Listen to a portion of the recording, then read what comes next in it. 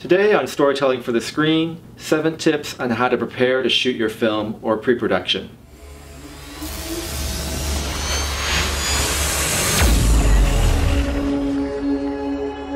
So you've got your story and you've got your script and you're ready to shoot. So you want to wait actually and do some preparation because if you don't do some of the tips I'm talking about in this video, it's going to cause you to make a lot of mistakes. And so to make your experience of shooting better and to make your film better, let's follow these seven tips.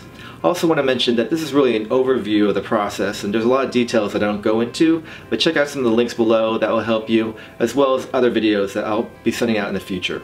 Tip number one is make a storyboard first. A storyboard is basically a comic strip with just images that help you plan your film before actually filming. A lot of people do these hand-drawn pictures that show each shot they're going to make, and that's sort of the traditional version. I find that actually for beginners and for a lot of filmmakers, that's actually really hard because a lot of us don't draw. So what instead, you just take out your, your phone, whether it's on your, your cell phone or just a camera that you have, and you can just take images with people who stand in for your actors or your actual actors in your location, planning out your shots by taking photos, or taking a video camera and doing short little video clips to plan out your shots. In this way, you can actually see your location with your stand-ins for actors or actual actors and actually see the shots in a rough draft form.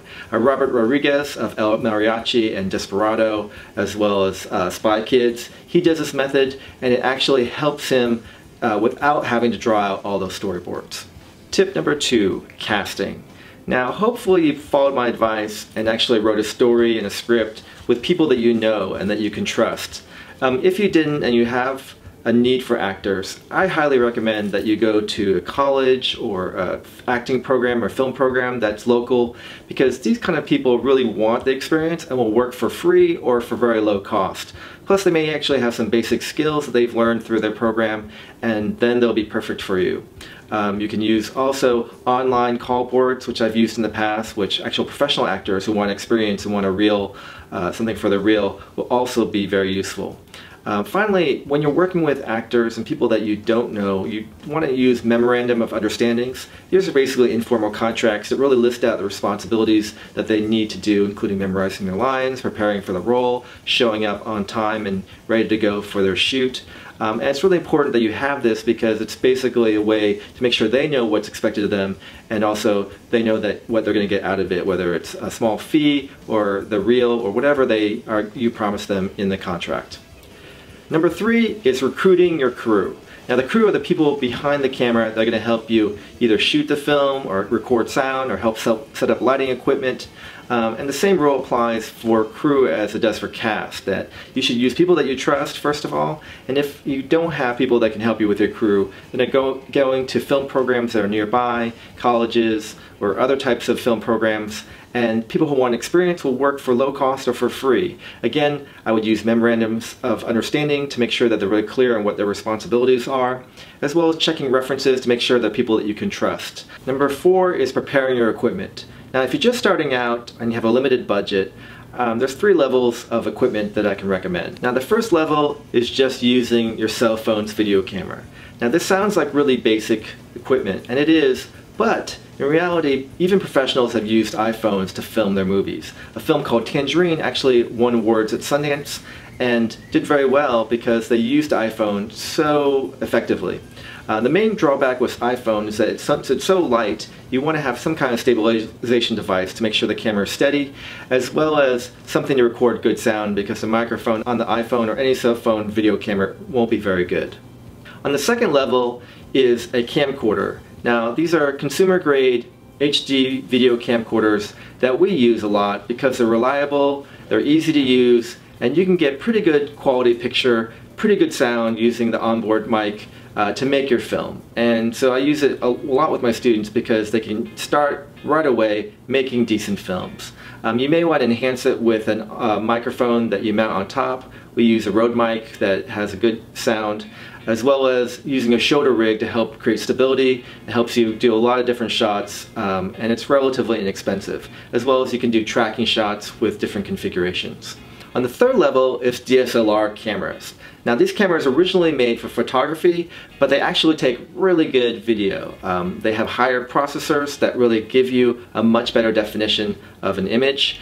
And so I recommend them if you're really trying to make the quality higher. Now the downside of DSLRs is that they take very bad sound. So you're definitely going to need an additional mic on the camera. They also don't have some basic features sometimes like headphone jack, sometimes they overheat, and so you just want to be careful. If you're going to go DSLR, um, definitely do your research because they can take great images, but there's a lot of tricks to make sure they run properly.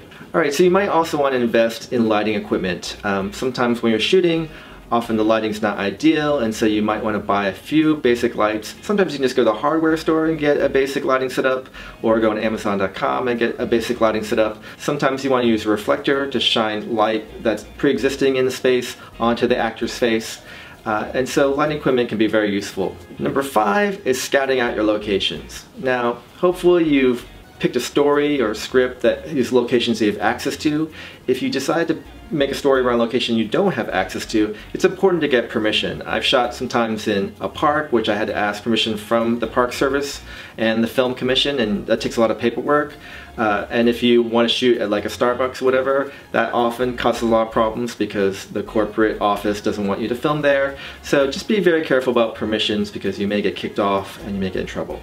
Um, the other thing to worry about with locations is lighting. Uh, make sure that you're aware of what time you're going to be filming, especially if you're outdoors. The lighting shifts around a lot and will impact your film. And then also, if it's really dark, you want to be aware of what lighting you're going to need. And then finally, you want to be worried about sound because I've been in situations where the sound can totally kill your film, especially if you're using a lot of dialogue uh, when there are people in the background making noise. Um, I've shot in locations where there were 100 kids screaming and yelling, almost destroy the entire film just because I didn't do the research about when those kids were going to be there, and so you just want to be very careful with sound. Number six is organization. Now, as you can tell, there's a lot of moving pieces that you have to worry about. So it's really important that you write down your schedule and when people are supposed to be there, what equipment you're supposed to bring, what design elements are supposed to be there.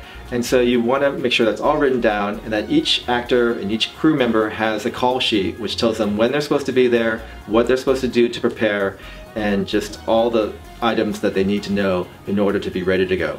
Number seven is fundraising. Now, maybe you've done all your pre-production and you realize you need more resources.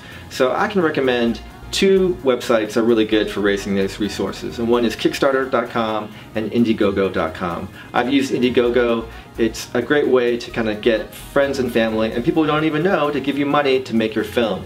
Um, also, I would be careful about you doing this because if you can actually make your film for a lot less, then it's a lot of work raising money. It's actually just like making a film fundraising is a whole nother project unto itself. And so be cautious about using that. It can be kind of a trap.